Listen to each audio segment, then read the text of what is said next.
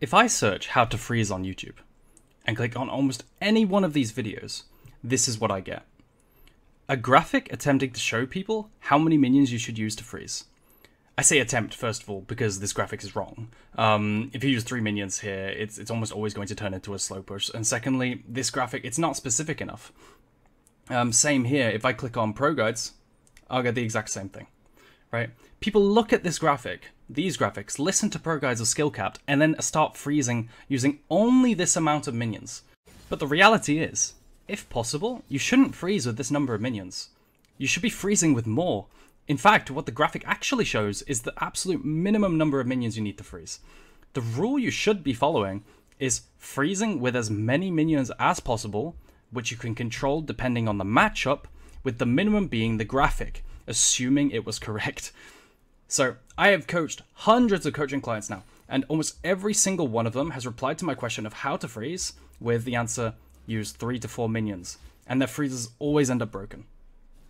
So, what I'm showing in this clip is freezing with more than 4 minions, and I maintain this freeze for about 5 minutes, only breaking it when I actually choose to.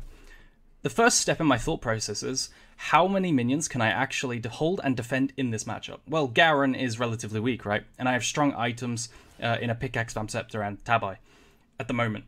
I have a lot of armor and sustain I can use to hold the wave as well. If the minions hit me, I could simply use my Vamp Scepter and potions to heal. So I use I, I use a lot of minions, right? This is why Vamp uh, Refill Pot is so broken. But why is it important to use a lot of minions? Well, what if Garen walks up and I want to Q him or all in him? But then I accidentally hit the minions with my trade, with my AoE trade. Well then, immediately the freeze is broken because I'm no longer at that minimum threshold of 4 full HP minions because my Q has hit them.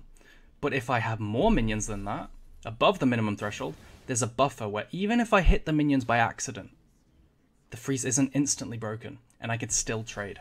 This is usually the most common way people lose their freezes. Of course, you could argue that I should be trading my AoE away from the wave, standing away from it over here or something, but that isn't always possible.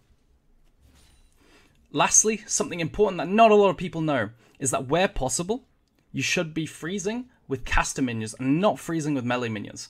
If you're thinning a wave, if I just go back and show you me thinning the wave, whereas over here, notice how I'm thinning the melee minions. Um, Riot thought for some reason that it would be funny if melee minions like to randomly run it down under tower with the aggro. Basically, casters don't do this. Um, if you freeze with melee minions, they might just run it down on the tower and die and break your freeze. But so what you should always be doing is prioritizing freezing with caster minions so that you don't have this option happening. But yeah, see how I'm always thinning the melee minions. So, TLDR, 4 minions is the bare minimum amount of minions you should freeze with, not the amount you should use every time. Always do more where possible, and the number of, is based on how many you can control in the matchup. Do this based on sustain, items, champions, everything. You need more minions because that provides a buffer in case you your trade accidentally hits the wave or some bullshit happens and the freeze isn't instantly broken. Do not freeze with melee minions. They run it down under tower, unlike casters. Combine this with pulling the wave upwards into the bushes like I did. And finally, stop blindly listening to pro guides and skill capped.